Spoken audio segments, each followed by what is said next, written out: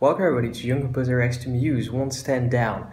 This is the first Muse single in about three years, over three years actually. I'm, I'm a pretty big Muse fan, so this is quite the deal for me. I, am not doing super good right now, so I was kind of struggling to get into the energy of, of making a video.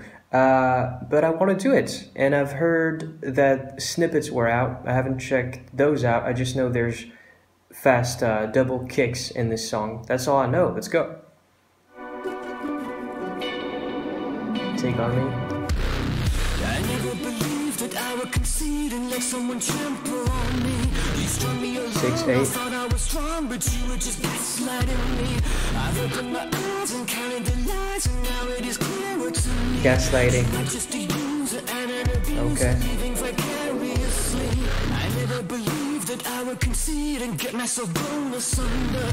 You strung me along, I thought I was strong, but now you have pushed me under.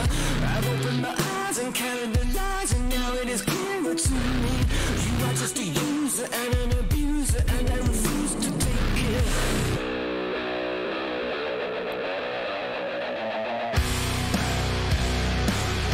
Woo!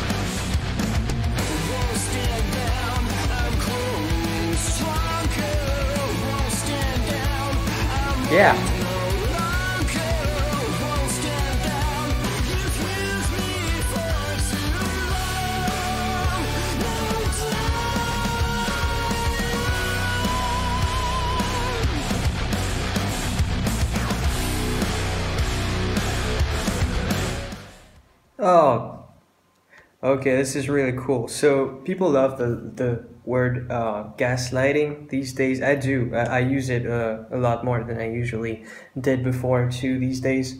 Uh, nice to see Muses at that too. Cool chromatic build up, you know. After after that whole uh, intro thing, I guess, where you have those little fiddly uh, synths and then this huge bass sound that you don't quite know what it is. I don't know if it's like Muse always messes uh, messes with synthesizers to make it sound like bass and whatever, and you know the madness thing. I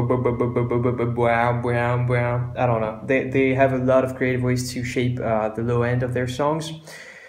I love what happens after that though. I, I love the beginning, you know, the introduction of this weird uh, six eight rhythm, but then just the the chorus that builds into this classic Muse falsetto thing where Matt sings like the again not a theory expert but you know the main note of the scale like the sorry. And uh, yeah just classic classic muse feeling in a uh, muse that's been for a few years now like way more uh, modern with with the sounds they use this are as a really organic rock band uh, but they they are classic in the harmony they use and they are modern in, in the sounds they use on this. Let's go game go.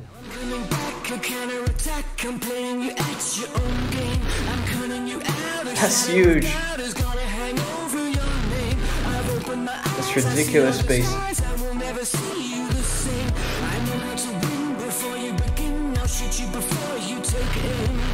bass. counterattack a psychological war. I'm cutting you in, I'm under your skin. Now I'm gonna settle the score. I've opened my eyes, I see your disguise. I will never see you the same. I know how to win before you begin. I'll shoot you before yeah. you take aim. Ah.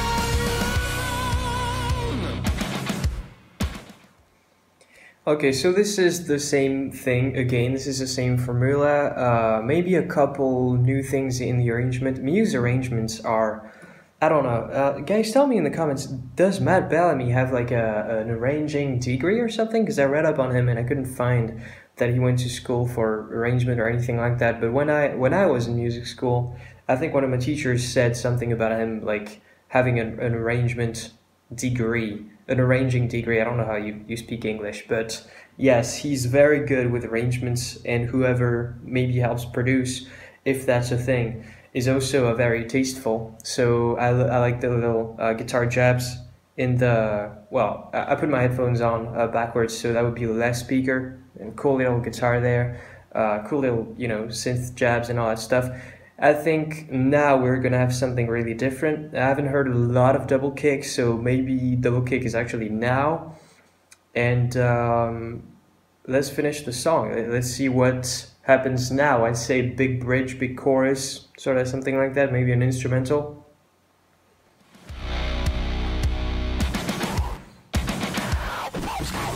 Oh, okay.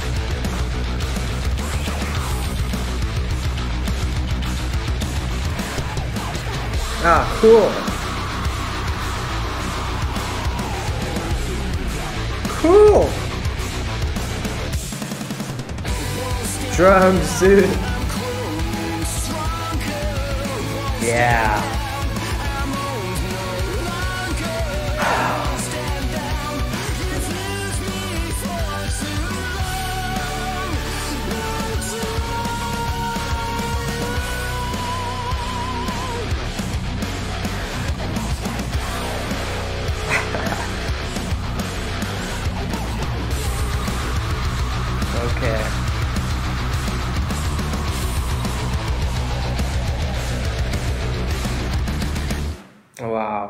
Often wonder what screams actually are when I listen to screaming. Like, Muse does a lot of, fa- uh, you know, fake screaming where Matt is like whispering or just being really quiet, something like, ah, you know, something like that, and put a a truckload of distortion on it and it sounds like he's like going insane right and and that's really cool i've talked about this before when we did this uh, live version of stockholm syndrome i think that's a really smart way to do things that that's how i would approach screaming if i had to like record a song tomorrow and there had to be screaming on it right i can't scream i would just like do that but I wonder at the end here, it really does sound like real screaming with like processing on it, reverb and all that. Um, and Matt definitely can scream. So, you know, when I hear him scream, I always wonder which one he's doing. Um, yeah, so I guess I, I was kind of right there. Uh, but I was also a little spoiled that I heard like two, three seconds before of that instrumental before uh, taking a bet that it was going to be an instrumental. This sounds like it would be fun to see live. And uh, yeah, I can't wait to actually see that live because I'm, I'm gonna hopefully see Muse live this year. Uh, so that makes me feel better. And um, yeah, I mean, overall, this is not a, a, a huge leap uh, for Muse. This doesn't surprise me hugely. Uh, this these are sounds that they've explored before. These are things they've done, but they you know they still do it well. Um, they do it maybe now in a in a bit of a different way. I don't hear quite as much uh, risk taking in uh, in Matt's singing on this track. It's uh, it's quite a bit lower than what he actually usually does when when it's uh, when it comes to like super high falsetto. Like I'm thinking about the handler. He does like exactly the same thing in the chorus, right? Goes uh, goes to that uh, Phrygian sounding note and then does the main note of the scale. Yes, music words. I'm very good and uh, but this sounds like a B to me, and uh, the the handler is a is a D, so uh, down uh, three semitones there. Uh, good for him, you know. Uh, why why bother? Because you, I mean, if this is drop B, this is a hell of a lot heavier, I guess, than drop D too. So that's fine, you know. Tune the guitar down and, and don't strain your voice as much. That's cool. Uh, yeah, I I want to see how they do the screams live, and I want to see how they do the huge synthy, low end, uh, distorted stuff that that kind of took me by surprise because you know mostly this doesn't surprise me as a as a Muse song, but that specific sound is kind of like uh in on the harder end of what they usually do with um with uh, virtual sounds, I guess. So yeah, I, I quite enjoyed this track, and uh, I want to see the the rest of the album. Does it go in that direction of this uh, synthy thing that's really heavy and sort of like different from uh, their last album, or do they go in the direction of whatever the little fiddly synths at the beginning of the track, which is more yeah what they did on, on the last album? I don't know guys. I don't know anything. Just tell me below did matt bellamy go to music school? Does he know how to do arrangements because of a specific reason or just because he heard a lot of music and worked with producers and all that? And uh, i'll see you next time. Goodbye. Have a good day